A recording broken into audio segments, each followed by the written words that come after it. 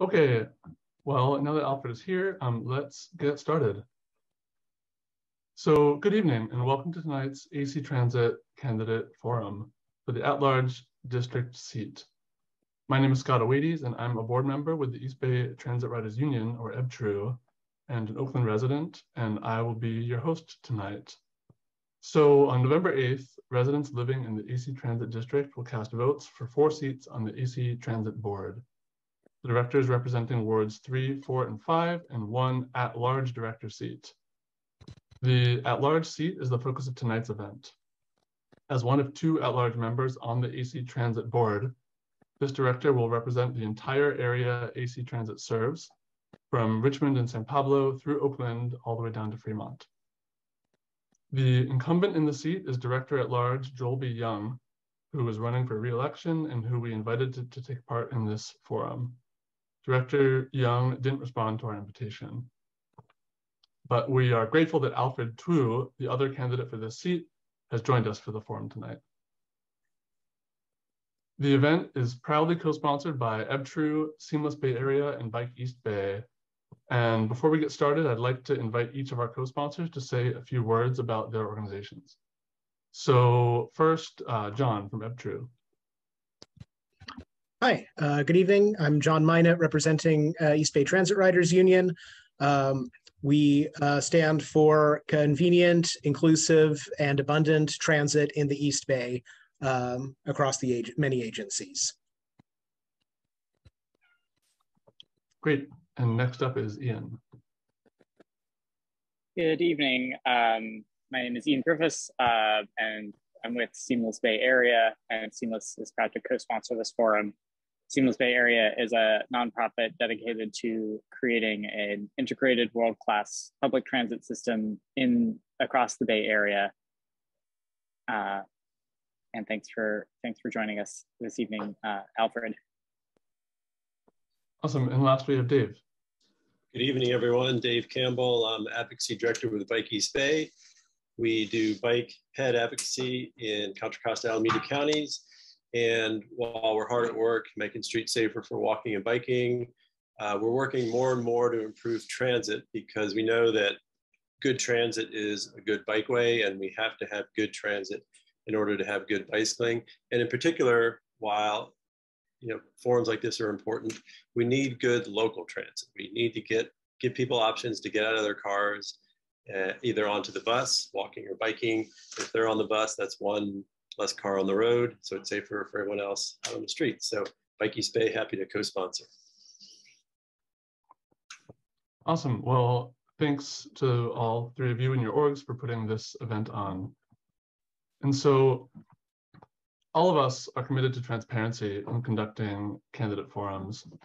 And typically in a forum featuring multiple candidates, we would stick to an agreed upon list of questions and provide each candidate with a set amount of time to respond to each. However, since only one candidate agreed to appear at tonight's forum, we will be taking a slightly more conversational approach.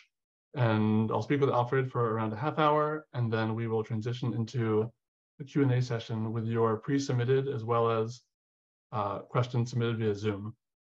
So feel free to enter your questions for Alfred into the Zoom Q&A tool at any time, and in the back half of the event, we will kind of go through those questions.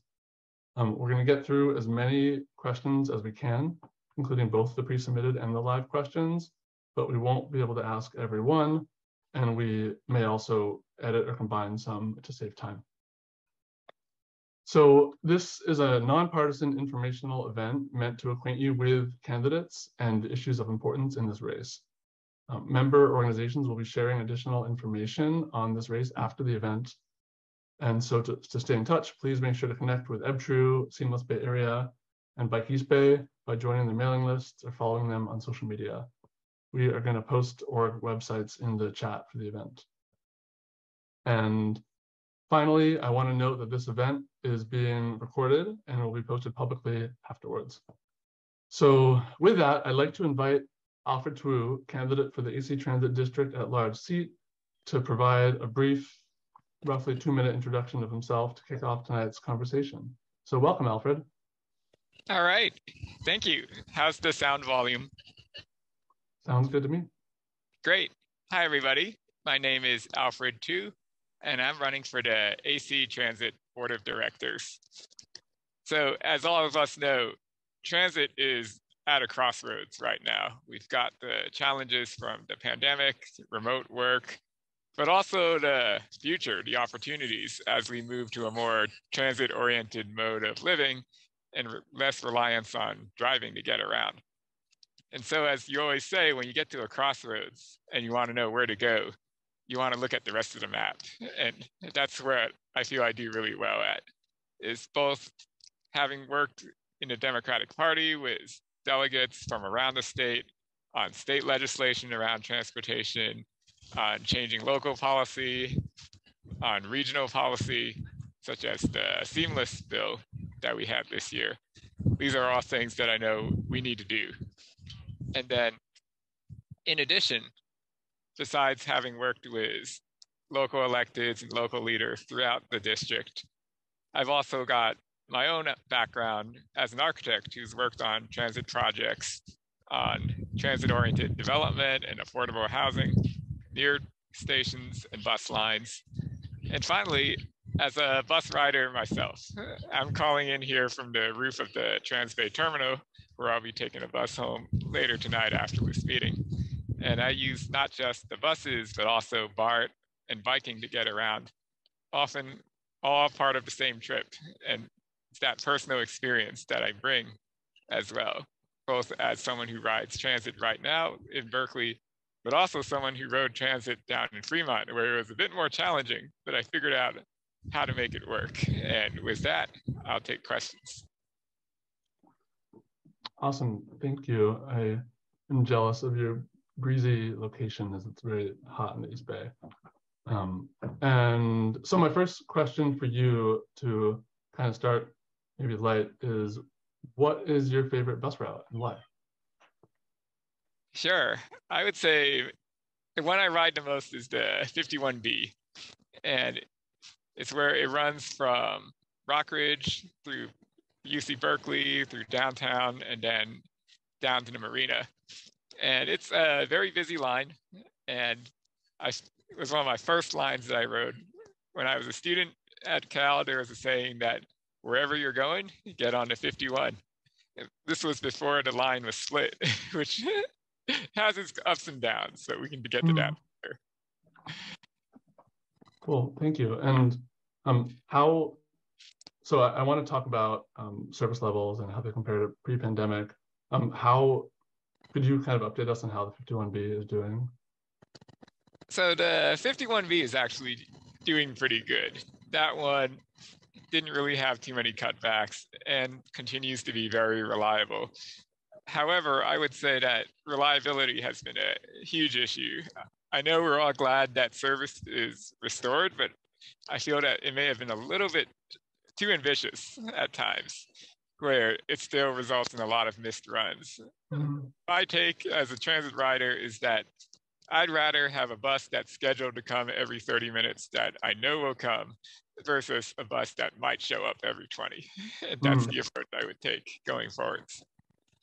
Cool, thanks. And so, you know, broadly for AC Transit, we are still operating well below the pre-pandemic service levels, which were low to begin with.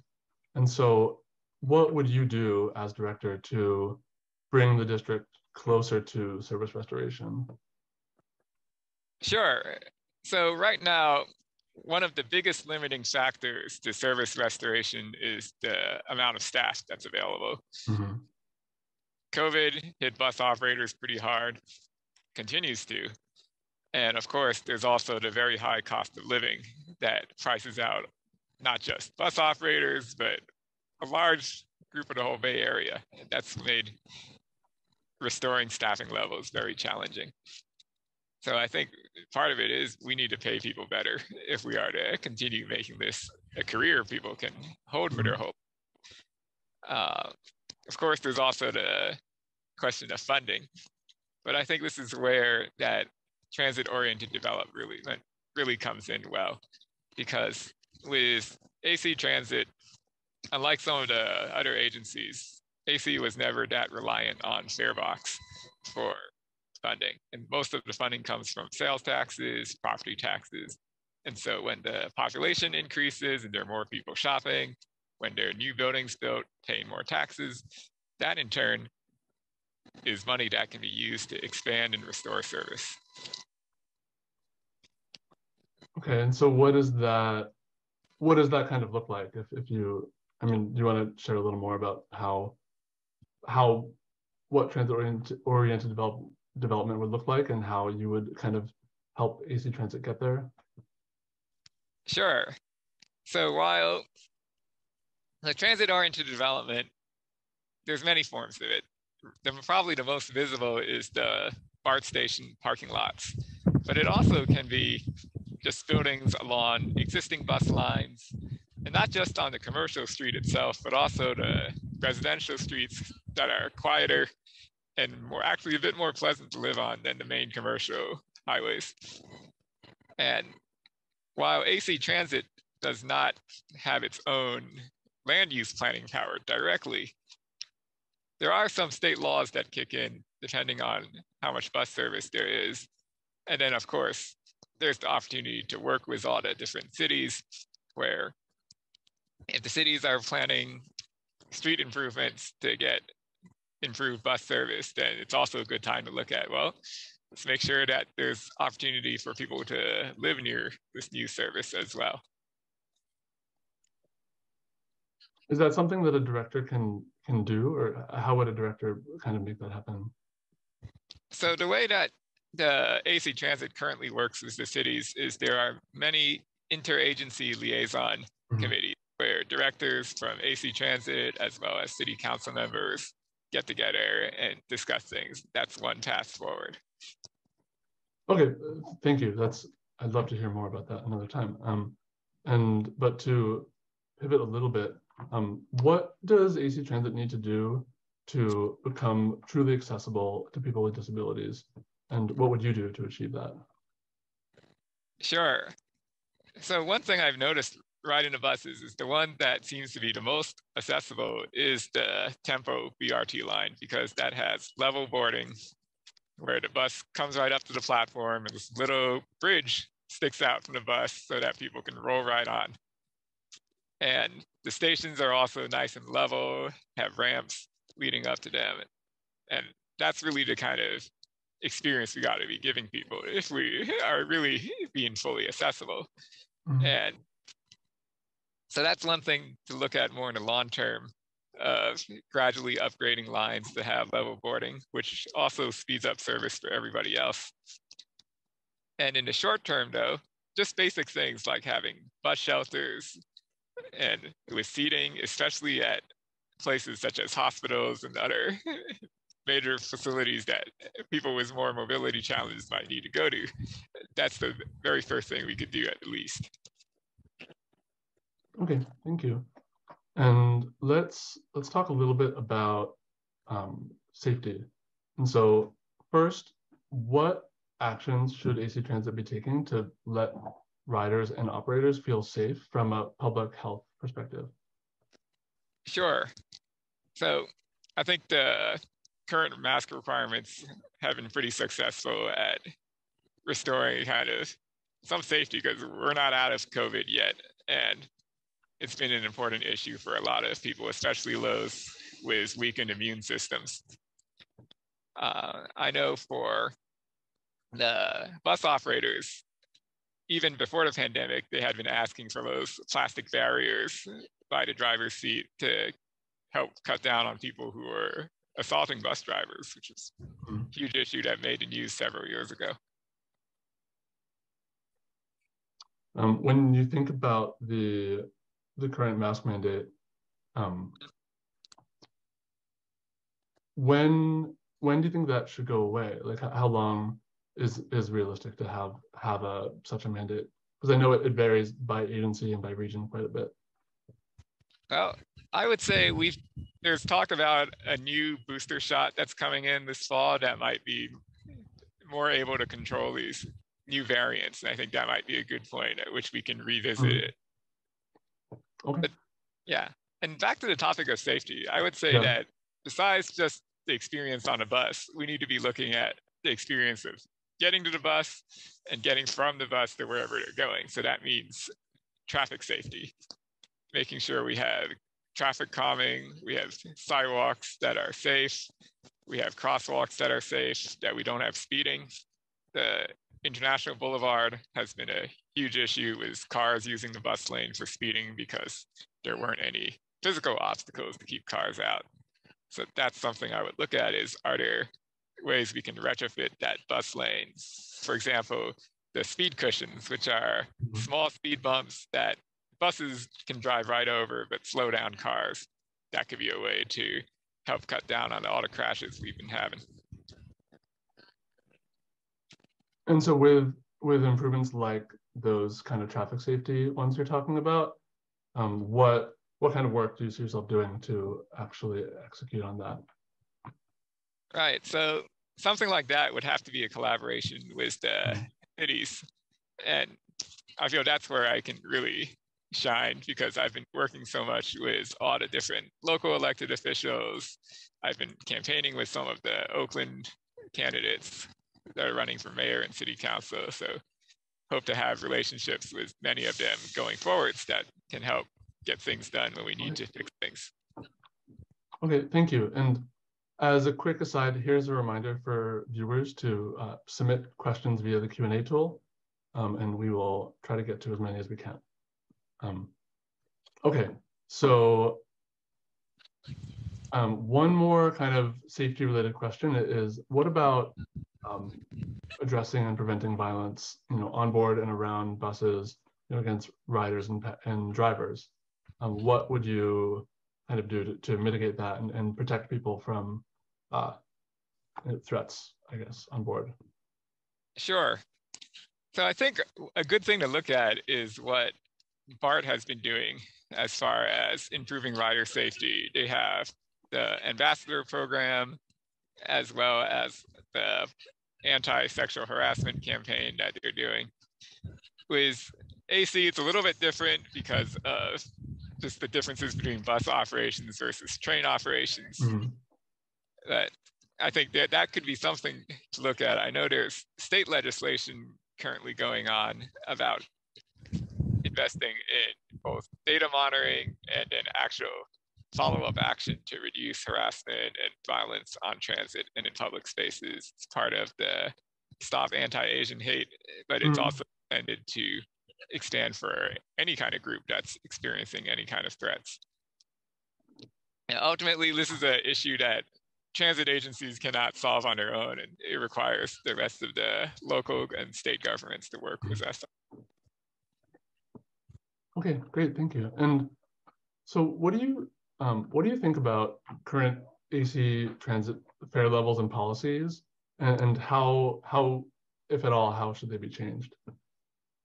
Sure. So I would say that right now, AC is a bit behind the curve on some fare policy where most agencies have gone to a free transfer policy where you pay once, you ride as many buses as you want for a couple of hours. AC is one of the last ones where that second bus, you got to pay a second fare. Mm-hmm. And that doesn't really make sense, both from an affordability point of view. Most bus riders are low income. And it doesn't really make sense from a systems planning point of view either, because often you want there to be transfers so you can have direct lines. And so the first thing I would work on on fare policy is aligning our transfer policy with the rest of the region. And then beyond that, working on the seamless effort to get free transfers between AC and BART and all the other agencies that we link up with. how would something like that affect um, operating costs? And you know, I, I would guess you're, you're, collecting less revenue when you have free transfers. So how do you make that happen? Well, one thing that we have going on right now is there is the Bay Pass pilot program. And from that, we can get some data on when people are getting these free transfers, are they taking additional trips? are they taking the same amount of trips? And that will help mm. guide us on how do we allocate the funding fairly. And maybe because the trips are cheaper, people will be taking more of them and mm. it won't really matter.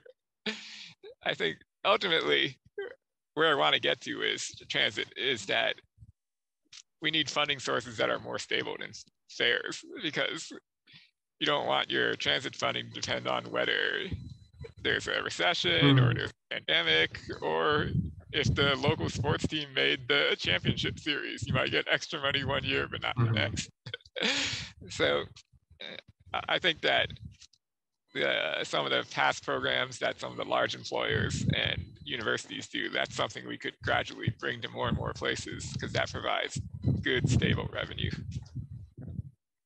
Cool.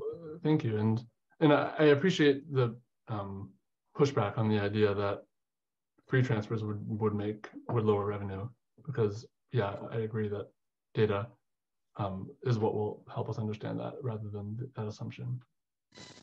And right. so, um, do you believe that AC Transit listens sufficiently to rider input in decision making, or um, if not, what kind of change do you think is necessary?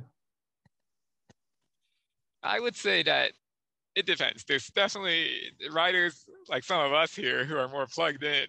We're more plugged into the process. That your average rider experience is probably going to be very different. And I know with BART, they have done a lot of onboard surveys where I've encountered BART staff talking to people while they're on the trains and giving them a survey. I think that's that's the, the best way to get good, accurate mm that actually represents the cross section of the riders. Do you know if AC Transit does that already, or would that be something new? I've encountered it before. Okay. I don't know how much it's going on right now. Cool, thanks. Um, so, um, knowing how many different kinds of demands and constraints you would feel from different communities, you know, including all kinds of riders, operators, staff. Um, how, as a director, would you balance uh, all of those different sides and, and form your approach? Sure. So my approach to politics has always been a bit more collaborative. And I think it comes from my experience working in politics at state level, where there's such a broad range of opinion, as well as my experience working in architecture, where you got to work with everybody to get the project done.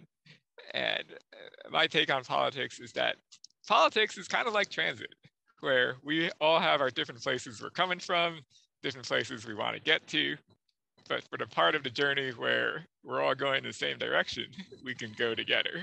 and I think that's the way I would start out is instead of trying to make huge changes right away, kind of feel out things, find out where those common points are, and mm-hmm. start there and take it from there. Okay, I appreciate that. Thanks. And so we are at about the, at a, the half hour mark, and I would like to switch to the audience questions. And so um, now is a great time to submit some more questions. We've already been getting quite a few, but uh, yeah, find that uh, Q&A button and put something in if you'd like. Um, it can be, um, you know, whatever, whatever you're wondering about from Alfred.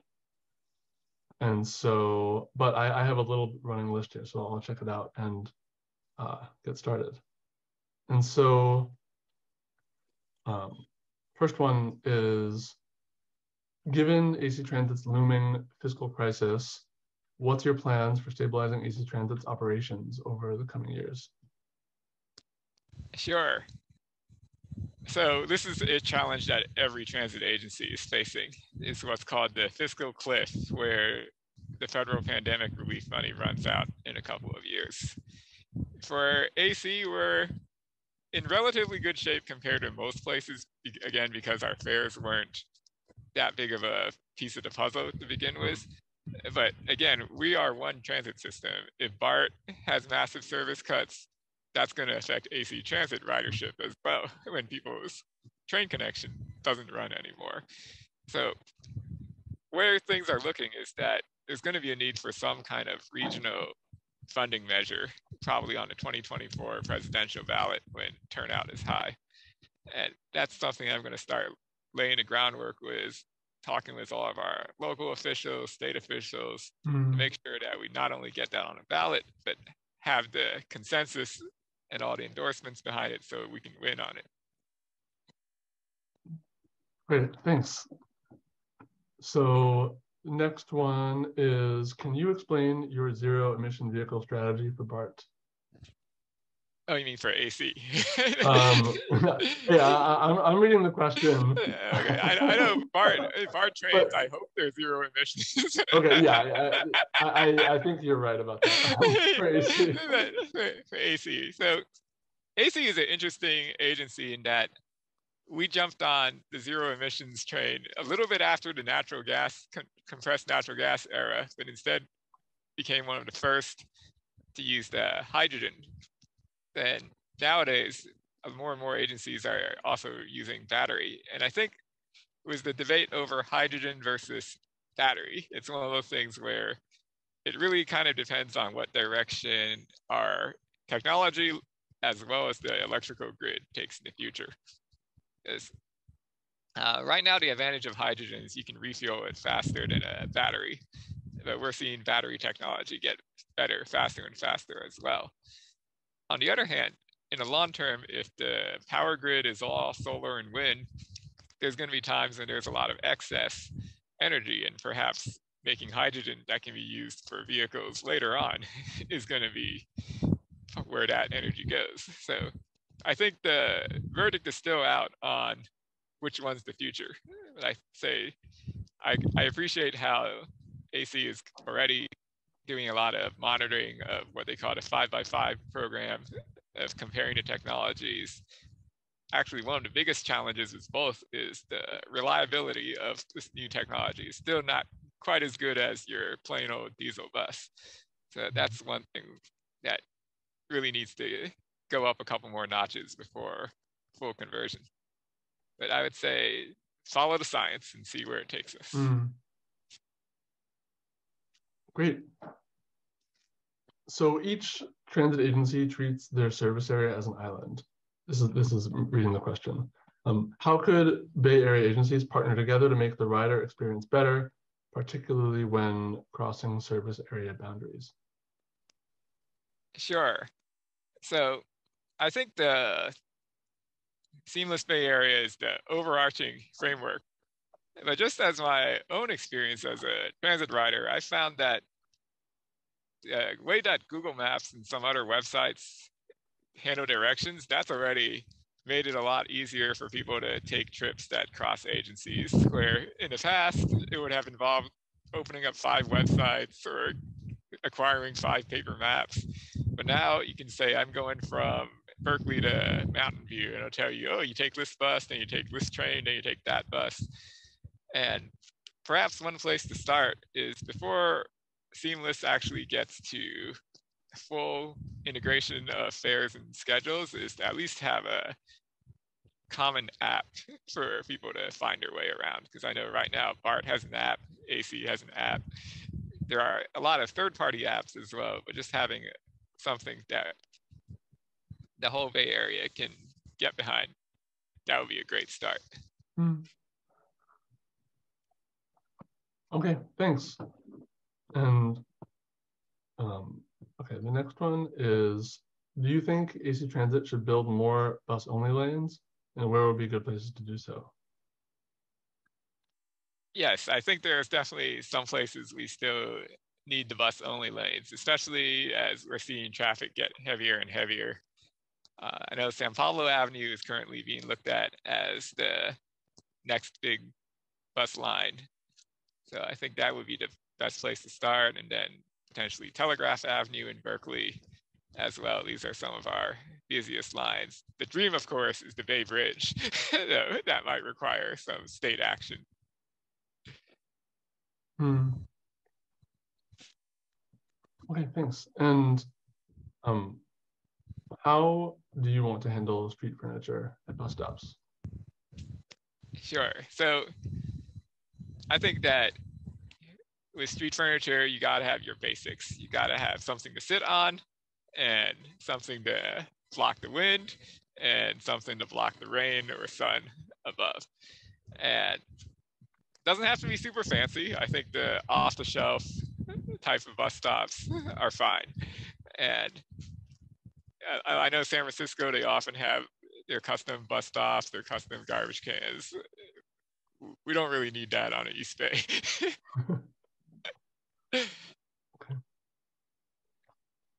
okay, so the next one is the last question we have.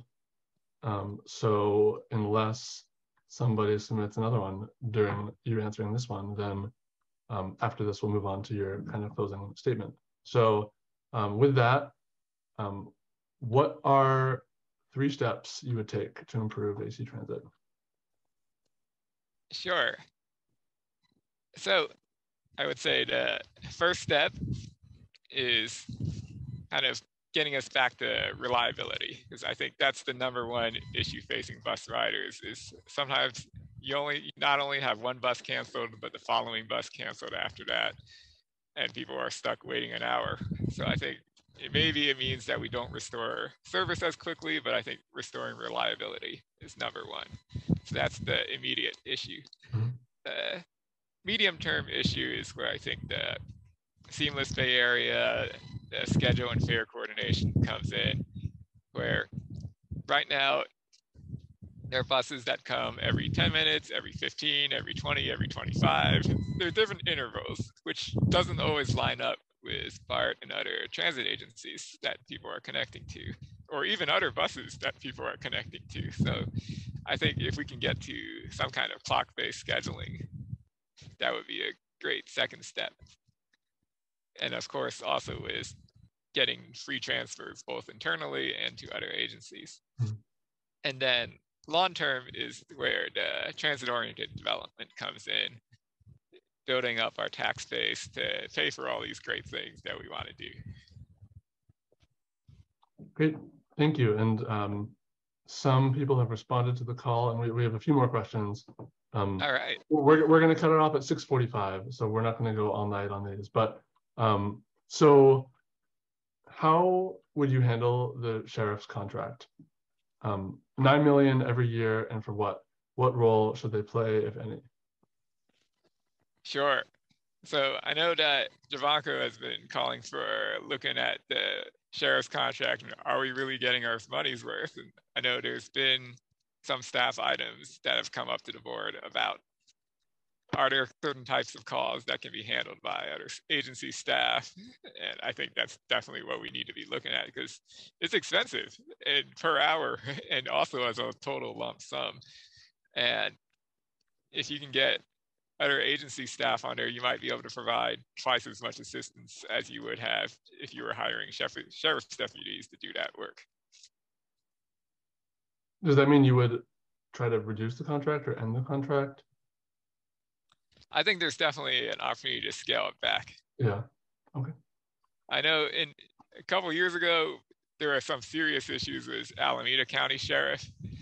I know we've got a new sheriff incoming who's hopefully going to be a lot better. So we'll see.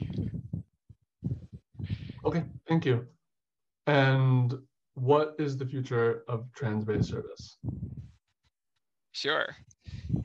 Uh, so I know that uh, because of Transbay service was originally set up back in the key system era to bring suburban commuters to office jobs in downtown San Francisco. That is not going to be as big a thing anymore because of remote work, and especially now that BART still has a lot of capacity. However, there are a lot of non-office workers that work in San Francisco because they can't afford to live in the city on that kind of money. And so that's really where we really need to be looking at is serving these essential jobs, serving students, serving seniors, going to medical appointments in the city, all these things that you still have to do in person. And that means instead of having rush hour only service to be looking more at all day service for Transbay trips. And I think there is still a valuable role for Transbay service because especially for people who don't live near BART, if you are asking them to transfer from bus to BART and then to another bus in San Francisco, that's just too many moving parts and potential misconnections. So the one good thing about Transbay service on AC is it gives people along Bancroft Ave in Oakland or MacArthur in Oakland, it gives people in Alameda, gives people north of the BART service area a one seat ride into downtown San Francisco from where they can get a bus to pretty much anywhere in the West Bay. Great, thank you. And how would you work with staff on improving AC transit processes? Sure. So one of the things with any kind of elected board is, of course, the staff often have much more long-term experience. So I think when I get elected, first thing I would do is to just kind of listen and hear from the staff. All right, what are some of the things that have worked in the past? What are some things that we've tried in the past and didn't work, so we don't have to make that mistake again? So again, going back to my philosophy of politics, just taking a collaborative approach and feeling things out to cross the river. okay, well, thanks so much. And that is it for audience questions. So you're through. And so thank you everyone for joining us tonight and to Alfred um, for this whole conversation. Um, I hope people are feeling better informed about the issues at stake and about this one, this candidate. So to wrap up this event, I'd like to invite Alfred to give a quick closing statement.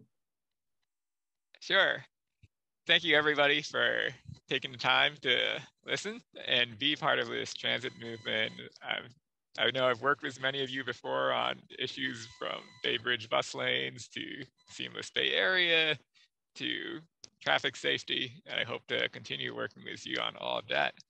And yes, keep recruiting new people to this movement because I know AC and BART are the only agencies that have an elected board. And so everything else, all the other 20 something agencies, is often kind of under the radar and really relies on the public, people like you, to be the advocates, to fight for those funding sources that we're going to need. So thank you so much. I'm proud to be endorsed by a lot of our local elected leaders, including our AC Transit directors, Jovanka Beckles and Jean Walsh, BART board members Janice Li, Rebecca Saltzman, Bevan Dufty. Hope to get your endorsements as well. And feel free to volunteer or contribute to the campaign at alfred2.org. We've got so many voters to reach. This is like running for Senate. the AC Transit District is bigger than 10 states, but together we can do this. Thank you. All right. Thank you so much, Alfred. Thank you to all of our attendees, and thanks once more to our co-hosts. That is the East Bay Transit Riders Union, Seamless Bay Area, and Bike East Bay. And I hope you all have a good night.